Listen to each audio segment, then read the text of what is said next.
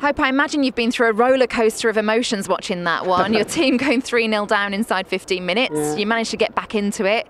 Could have had an equaliser, yeah, then yeah. end up 7 2. So, so, what's your overall thoughts now? Um, yeah, we, we started poorly. Um, for all sorts of reasons I, I couldn't tell you, uh, but credit to them. Um, and they managed to claw our way back. I think we started to play and had a bit of belief when we went three three goals down. I think it was a case of we've got nothing to lose. I think it calmed us down a bit. Scored, I thought, two two penalty and. and uh, Julia got a really good goal and then really unlucky not to get an equaliser and I think they go the other end. I think they scored straight away after that. Um, I, I, think it just shows the quality they've got, the depth. Um, we've got some work to do if, if we want to be a top four team. We know that. Um, so a real test for us today, very, very hard. Uh, I, I, think the good thing, um, the only good thing I, I, I, could say about what we did is that, that we came back after conceding very, very quickly and unlucky not to to get a goal to make it 3-3. So there were some bits that I thought were good, but generally I, I don't think we were you know where we wanted to be today and I think that's credit to them. On that coming back at 3-0 down, I did notice that the players had a quick meeting. What was being said there? Was there slight tweaks you were wanting to make?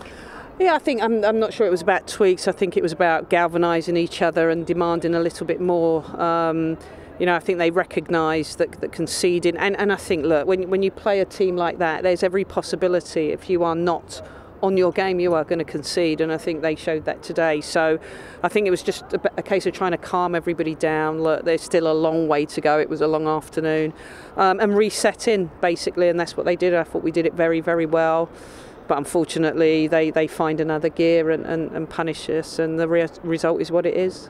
Julia Zigiotti has scored in the last two games yeah. now. It was a lovely finish. What did you make of that goal? Yeah, I, th- I think that's the quality she has. Um, you know, credit to, to Lee. I, th- I thought she worked really well to, to find her. Um, you know, she took the goal very well and it gives us a bit of belief.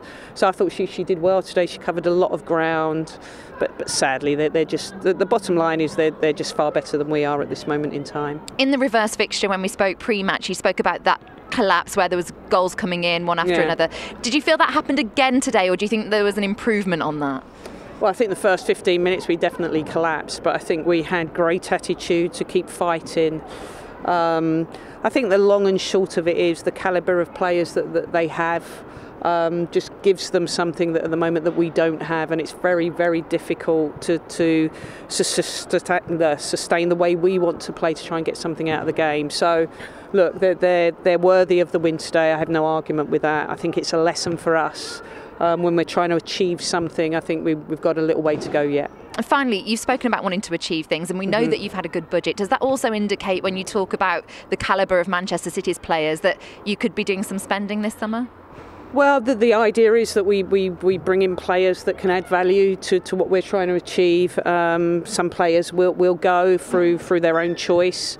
Um, but our ambitions are, are, are, quite great, and so if, if we want to look for that top four, it's clearly evident on today that the the gulf between where we are and where we want to be. So um, hopefully we'll, get the players that we want. Um, you know, the players have got to want to come to us. It's it's it's not an easy thing to just get players in.